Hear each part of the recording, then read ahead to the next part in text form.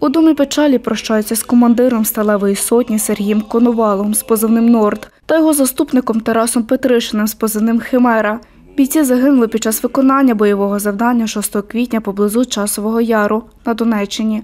За опокійну службу відправили священики.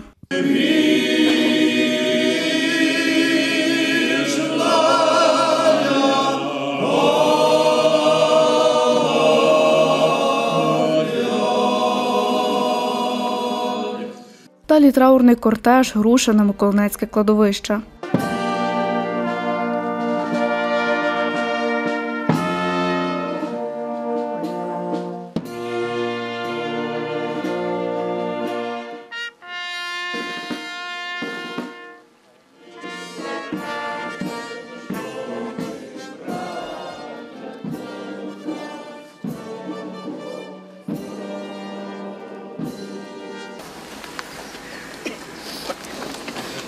Сергія Коновала посмертно нагородили залізним пластовим хрестом. Дочка Тараса Петришина виконала пісню про батька.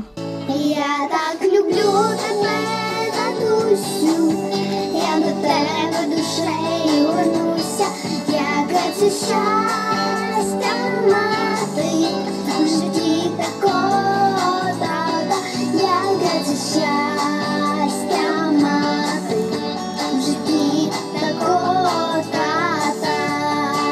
прощальним словом виступили друзі загиблих військових.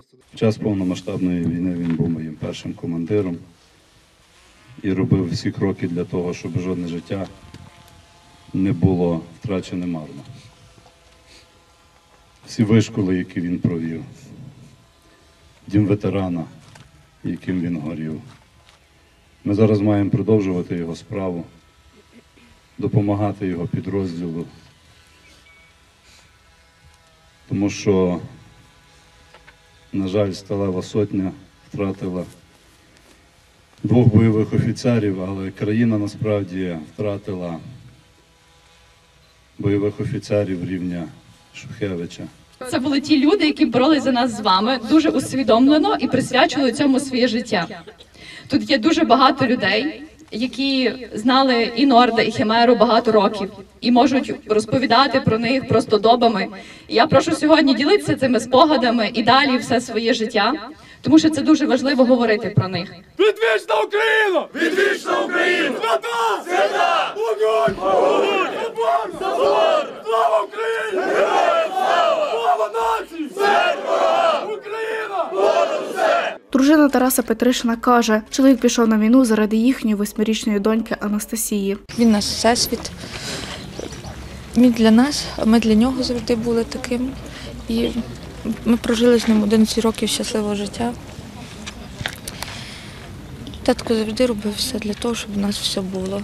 Завжди і захищав нас, і він казав, що я йду туди, щоб вони не прийшли сюди і не постукали в наші двері.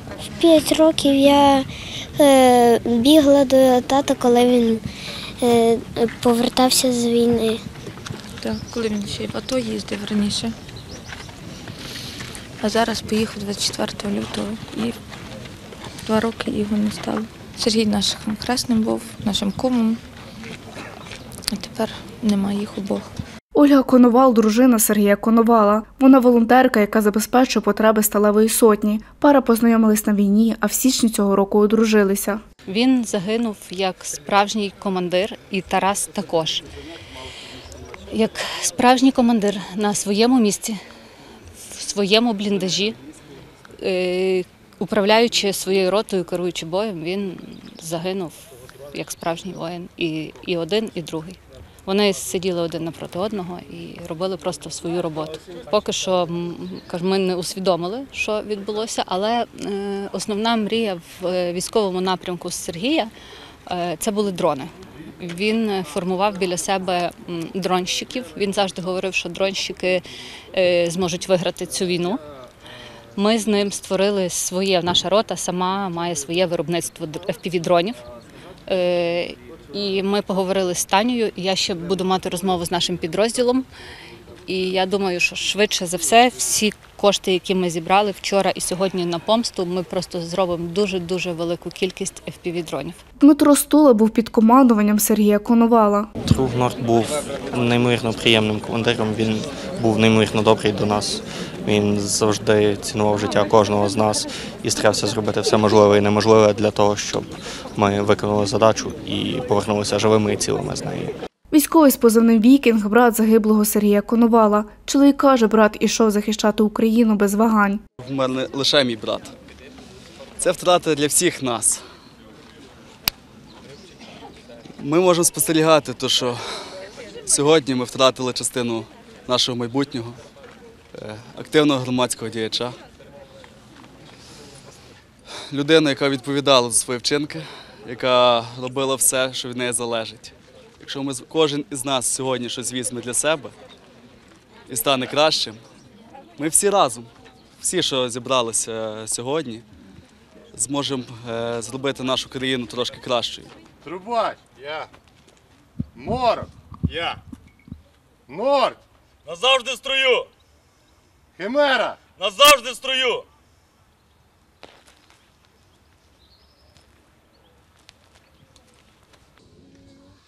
Тетяна Панченко, Оксана Галіяш, Суспільне новини, Тернопіль.